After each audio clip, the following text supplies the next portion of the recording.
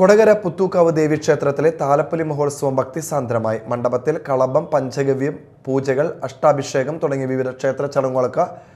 ശേഷം എഴുന്നള്ളിപ്പ് പഞ്ചാരിമേളം പഞ്ചവാദ്യം പാണ്ഡിമേളം എന്നിവ നടന്നു മേളത്തിന് പെരുവനം സതീശൻ മാരാർ കുനിശ്ശേരി അനിയൻ മാരാർ എന്നിവർ നേതൃത്വം നൽകി നിരവധി ഭക്തജനങ്ങൾ പങ്കെടുത്തു